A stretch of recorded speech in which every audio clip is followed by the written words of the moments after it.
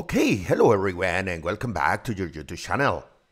And welcome to this very interesting and new video for you. And as you must be aware, I am recording this series of videos related to electromechanical conversion systems. And one very important aspect when we are talking about electromechanical conversion system is the way that the magnetic electric interactions create mechanical forces because those mechanical forces are related with the main behavior, the main features of the rotational machines. So when we are talking about generators or we are talking about motors, we need to we need to think about how these torque forces and voltages are induced. So the example today is a very simple example, it's a numerical example, and the objective of this video is to show you the way that current, magnetic field, uh, create forces in a conductor. So over here, I have this very basic st statement, and let's consider a conductor.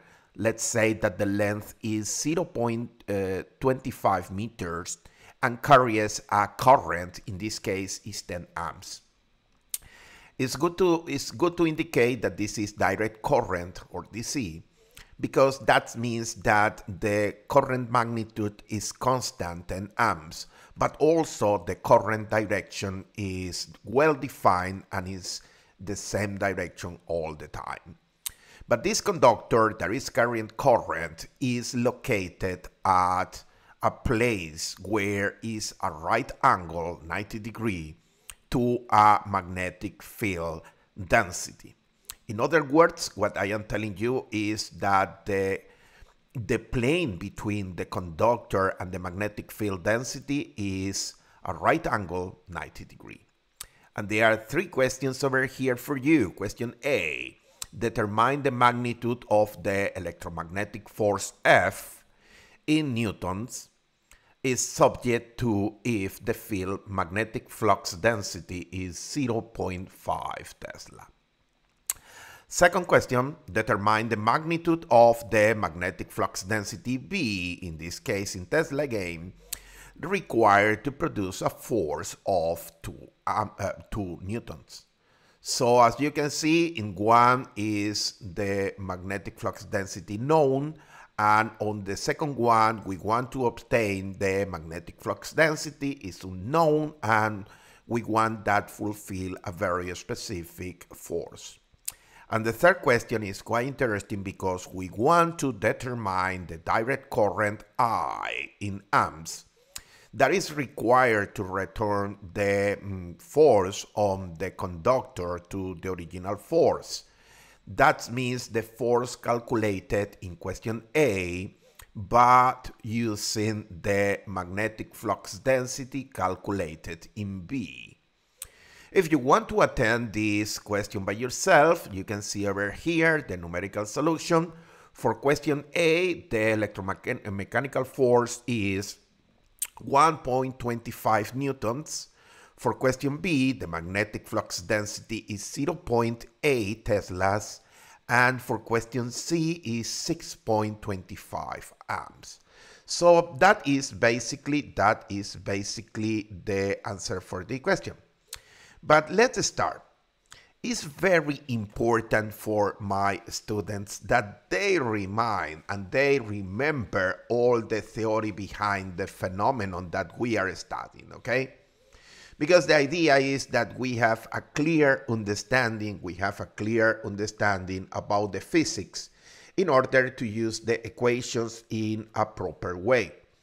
So here I will start talking about, imagine that this is the conductor that we are talking about, there is a current over there, and we are using this red arrow to show you the current. And the current is going to the left to the right, and that is a DC current.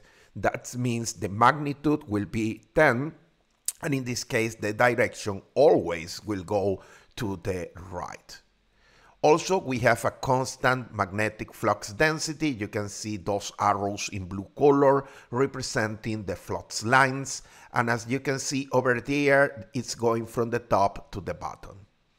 What is interesting is that when we have current, we have magnetic flux density, the consequence of those interactions are basically here force. That means that this conductor will be affected by a induced force, in this case F. You must remember for the class of theory, remember that I spent a lot of time talking to you about the theory, and this is the beautiful equation that is the amazing equation that we use to calculate the force. In this case, you can see that we are using bold letters for F, L, and B because those are vectors. This equation is telling you that the vector force is equal to the intensity, current intensity multiplied by L as a vector. And in this case, the vector is the direction of the current and the magnitude is the total length of the conductor in meters. And you can see this beautiful cross over here because we are talking about we are talking about a cross product between two vectors and B represent the vector defining the magnetic flux density. To be honest, this is the equation that you must remember if you took any class related with um, mm, electromagnetic theory. This is a vector equation. I love that equation because if you use that equation properly, you can obtain directly the magnitude and the direction of the force. However, in many books, and some of my students, they don't want to use vectors. Vectors are very, very nice if you have a full mathematic mind or if you have the capability of abstraction in order to create those representations in your brain. However, in many cases, the students prefer to go for the, I will say, the faster or the easier route. So the easier route is forget using vectors and transform everything into uh, scalar quantities or magnitudes. So what I'm telling you, so what I am telling you is that basically we can do the following we can convert these vectors into magnitudes. You can see those bars here surrounding the letter F because that represents the magnitude of the force. And the magnitude of the force will be numerically equal to the current, the current intensity multiplying by the magnitude of L, and that is the length of the conductor, and the magnitude of the magnetic flux density. However, when we are using when we are using this um, uh, scalar or magnitude equation, now we need to care about the sine of theta. Theta, this beautiful Greek letter, is basically defining the angle, defining the angle between the vector L and the vector B. So for, for the very early statement that we have been working over there, what you need to understand is the angle between the conductor where the current is moving and the vector related to the magnetic flux density that will affect this angle over here. So in many books, you will find that people are using italic letters and that represent scalar quantities or just magnitudes. So in some books, you will find this equation like I am presenting here. You can see that in this case, it's, it's based on in, uh, magnitudes. So you will find that equation in many of the books. However, what is interesting to show you over here is that for this very specific problem that we are working today, you must remember that this is the conductor, you must remember that the current is moving in this direction. This is the current. And the magnetic flux was going in this direction. And basically what I am telling you is that the angle between the current and the magnetic flux density is basically 90 degree. So when we have this condition 90 degree, the sine of theta disappear from the equation. So the equation that you will find in many books is basically is basically F equal I multiplied by L multiplied by B. However, I highly suggest, I highly suggest to my students to be very careful with this equation because this equation is only valid if the sine of theta is mm, 1 or in this case theta equal 90 degrees. What I am telling you, my dear students, is this equation number 2 that I am showing over there, you must be careful, you must be careful because that equation is only valid if the location of the conductor that is carrying the current and the magnetic flux density is is 90 degrees so the sine is 1 okay? Be careful with that equation. So the second problem of using this equation is related with defining the direction defining the direction of the mm, interaction in this case the force so for that our very good friend um, Flemings, he create what we call the left hand, the left hand uh, rule. And the left hand rule is a very simple and very important rule because that rule will allow you, this rule will allow you to define the magnetic interaction, in this case, the force direction. And let me show you over here, okay? Let me show you over here there are several mnemonics that you can find. There are several mnemonics that you can find to define the magnetic, electric, and mechanical interaction between force, magnetic flux density, and uh, also current. So in this case, you can find several, but you can see over here that we use the letters FBI, okay? Be careful, this is not the law enforcement agency in the US, the Federal Bureau of Investigation. No, we are talking about FBI here because we are talking about force, we are talking about magnetic flux density, and also we are talking about the uh, current. So here in this in this figure number one, you can see on the left hand side we have a left hand and in that left hand we are using basically three fingers. The thumb, the thumb is representing the direction of the force. The mm, index finger is showing the direction for the magnetic field density. And finally, the middle finger, in this case, some countries they call the birdie, the birdie is defining the current direction, okay? But some of my students, they prefer thinking about vectors and the space representation. So here on the right-hand side, you can see that I am using a vector representation, 3D vector representation. And in this case, the 3D representation, you can see here the X axis, the Y axis, and the Z axis. And you can see also in, in vectors, you can see the unity vector on the X axis, unity, unity vector on the Y axis, and also the unity vector on the Z axis. What I am telling you is if we put on the x-axis, the magnetic flux density, and the current is going on the positive y-axis, so the interaction between the magnetic flux density on the positive x-axis and the current on the positive x-axis will create a force that it will go in the uh, in the z-axis 90 degree between the plane and that will be the basic direction, positive z axis for the force.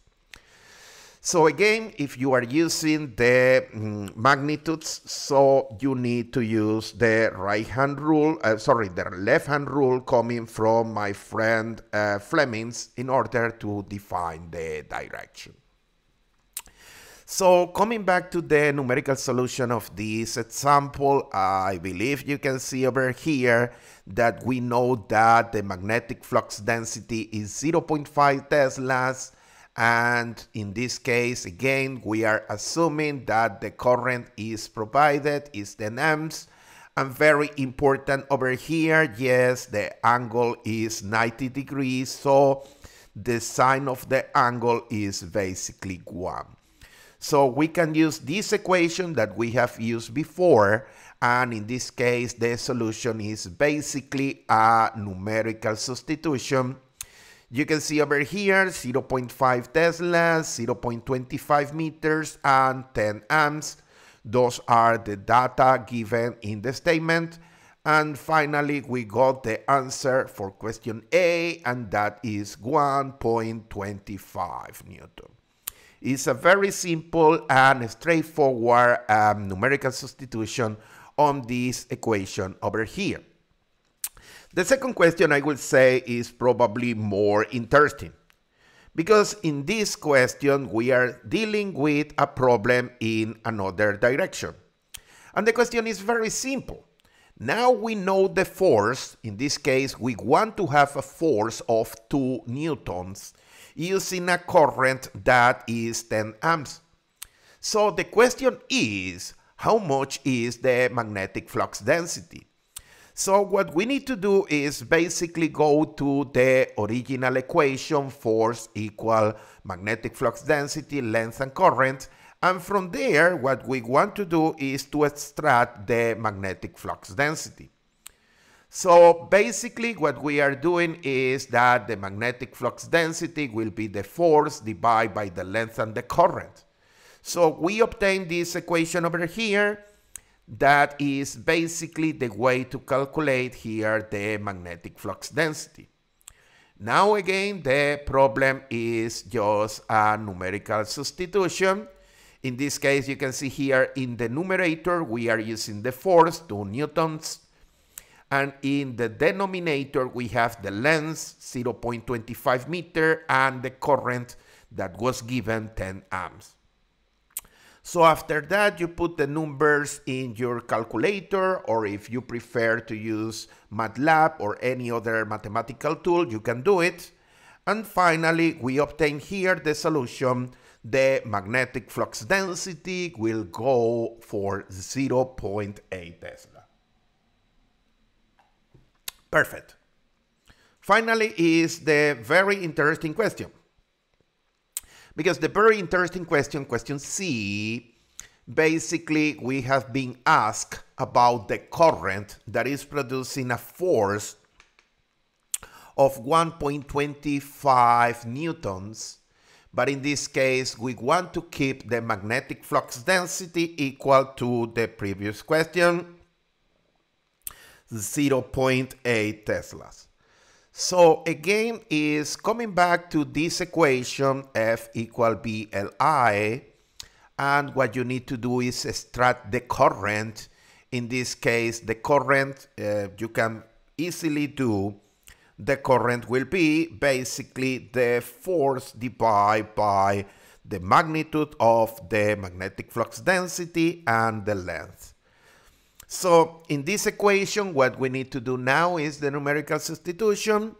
We know the magnet, uh, the magnet, um, the mechanical force 1.25 newtons, and also we know here the magnetic flux density 0.8 teslas, and we know the length 0.25 meters.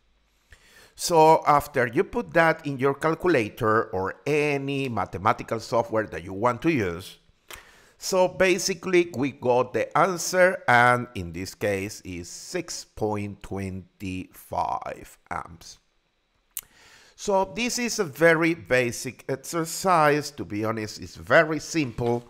And what we have done here in this numerical example is to show you the mechanism to calculate the force that is um, established when we have a conductor transporting some currents and there is a magnetic flux density.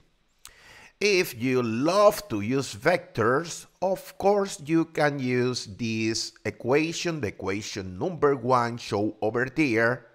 And in this case, this beautiful equation over here is using both letters because those are vectors. You can see over here, this is the force vector, this is the vector defining the magnetic flux density, and this is the vector defining the length. However, in some books and some of my students, they prefer to use a simplified version of that equation. They don't like to use vectors, so they will find this equation in many, many books. However, when you are using this equation, you must be careful with this angle because theta represents the angle between current and the magnetic flux density. But the other thing when you are using just magnitude for your numerical calculation is the problem related with defining the direction. So to solve the problem of direction, our colleague Flemings create this very interesting Fleming uh, left-hand rule. So you can use this FBI to remember the interaction between force, magnetic flux density, and current. So I believe this example is very useful for my students. I hope you understand and you find useful this very detailed explanation. And if it is so, please subscribe to the YouTube channel or leave a like. So another thing, if you have any question or any comment, please feel free to drop an email or mm, mm, a comment here. Um, this is all for this video. I hope you enjoy and I will see you at the next one. Bye now.